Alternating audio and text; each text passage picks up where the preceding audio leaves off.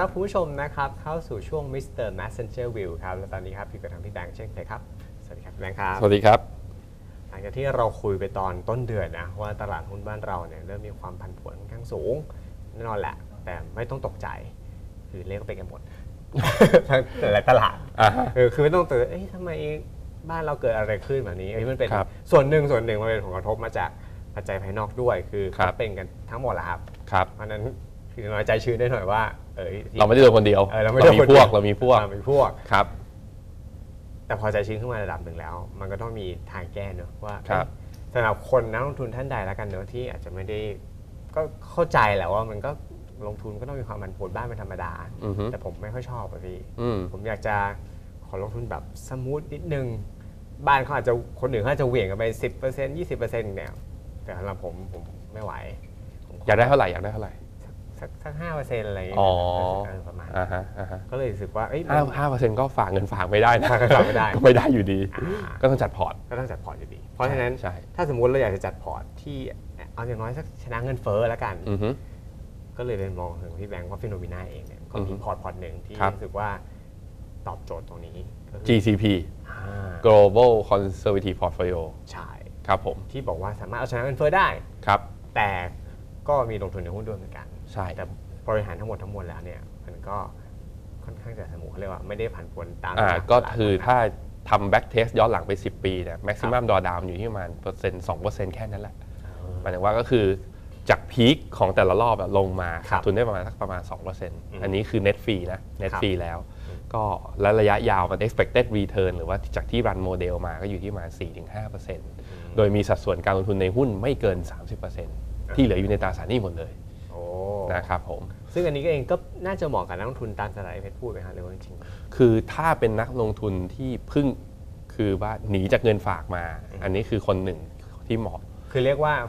ทั้งชีวิตฝากเงินมาอย่างเดียวอ่าแล้วอยากจะลองแบบว่าเฮ้ยอยากจะลองในหุ้นบ้าง ควรจะลองในสัดส่วนที่น้อย ก็มาที่ GCP อันนี้คือคนแรกคนที่สองคือที่เหมาะกับพอร์ตการลงทุนนี้คือมีมุมมอง bear กับตลาดแล้ว คือมองว่าตลาดหุ้นในอนาคตไม่น่าจะโอเคครับแต่ครั้นจะไปอยู่ใน money market fund เสียแบบได้ดอกเบี้ยอยู่แค่เออหนึ่งเปอร์เซ็นต์อะไรอย่างเงี้ยก็ไม่เอาก็มาที่พอร์ต GCP ว่านั้นก็เหมาะกับคนสองกลุ่มนะครับคนหนึ่งถึงถึงแม้จะเป็นนักลงทุนมืออาชีพครับถึงแม้ว่าจะเป็น risk lover แต่ถ้ามองว่าเฮ้ยทำยังไงดีแบบว่าไม่อยากจะดูแลพอร์ตตัวเองละครับแล้วก็อาจจะมาสร้างเป็นพอร์ตการลงทุนที่แบบว่า safe safe หน่อย ขอพักพักไว้ก็ก่อจะนอาจเลยก็จะใช้ GCP นะครับผมซึ่งปัจจุบันนี้ก็มีนักลงทุนลงทุนในพอร์ต GCP เนี่ยกับตัว Finnomena อยู่ที่ประมาณสักเกือบเกือบ100 คนนะครับก็คิดเป็น AUM อยู่ที่ประมาณ 400-500 ล้านโอ้ก็ค่อนข้างสูงนะก็ค่อนข้างโอเคครับผม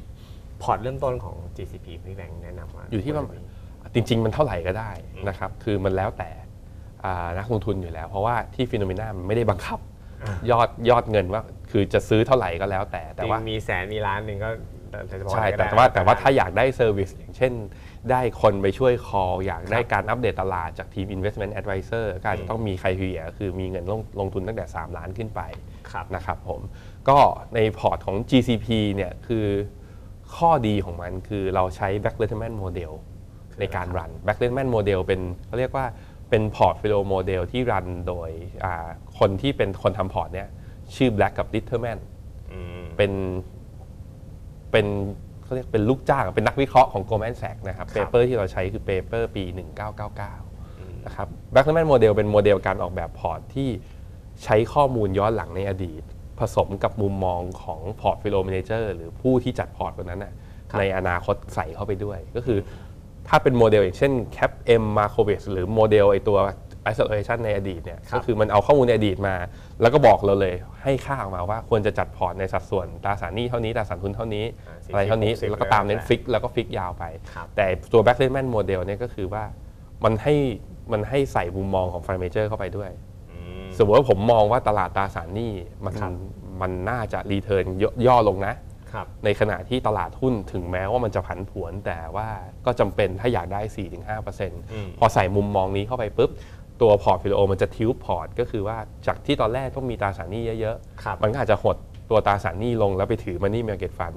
แล้วไปหากองทุนที่เป็นกองทุนหุ้นที่ให้แอลฟาคือไม่เพิ่มสัดส่วน แต่หากองทุนที่หาแอลฟาสูงๆ เอามาให้แทนอะไรแบบนี้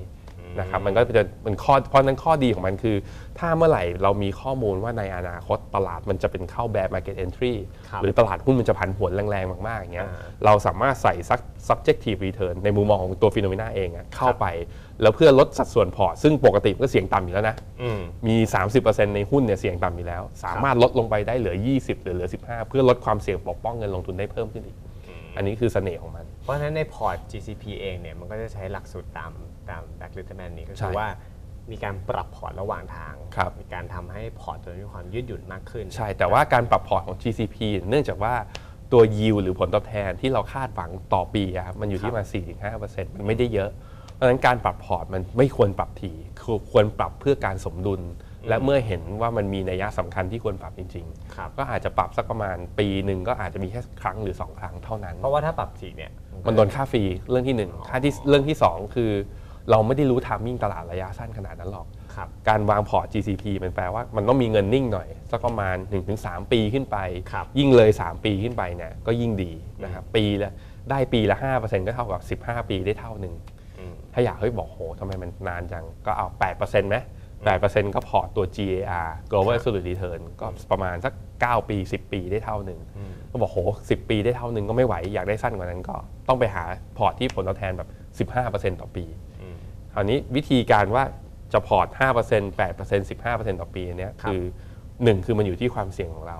ที่เรารับได้ที่เรารับได้สองก็คือจริง ๆ มันอยู่ที่ว่าเป้าหมายเราชัดหรือเปล่า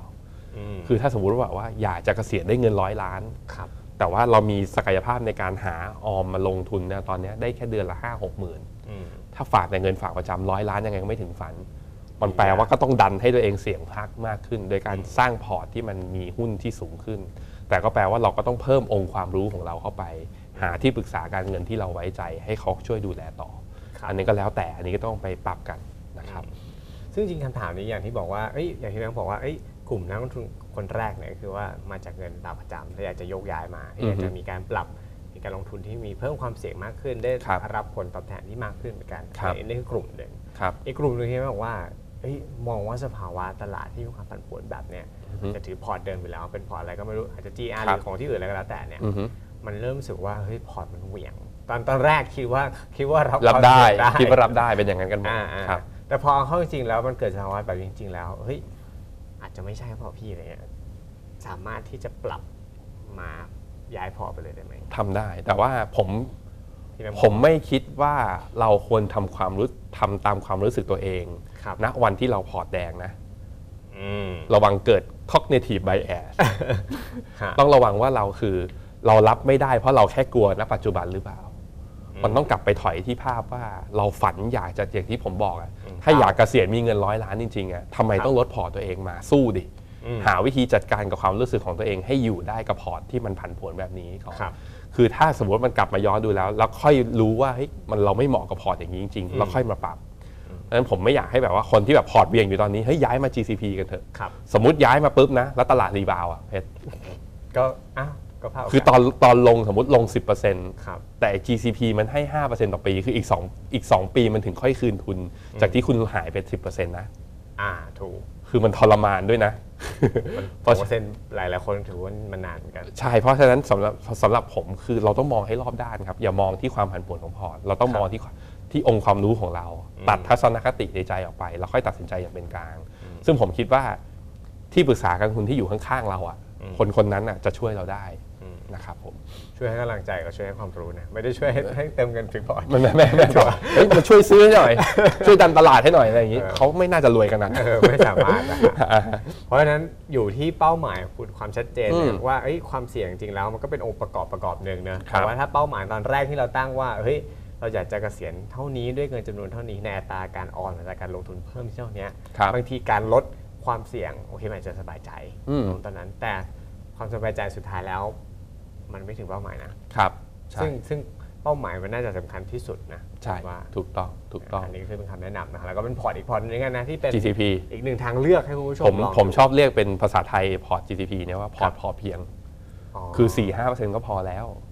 ค่ะคือมันดีกว่าคุณเอาเงินไปฝากไว้ในเงินฝากประจำสมมติใครมีเงินฝากประจำอยู่สักประมาณล้านหนึ่งนะแบ่งมา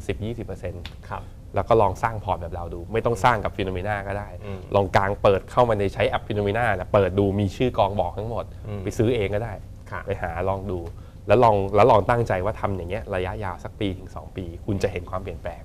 ครับผมแต่ต้องเน้นนะว่าให้เวลากับมันด้วยนะใช่ไม่ใช่ว่าลองโมเดลนี้สักสองสามเดือนแล้วเอ้ยไม่ชอบไม่ชอบนี่คือ อันนี้มันยังไม่ได้ไม่ใช่ให้เวลาพิสูจน์มันเองใช่ใช่นะครับครับผมโอเคขอบคุณมากครับพี่แบงค์ครับอ่าอันนี้คือหนึ่งทางเลือกนะครับที่พอร์ตที่ชื่อว่า GCP ครับ วันนี้เพชรพี่แบงค์และทีมงานลาไปชมไปก่อนครับ สวัสดีครับ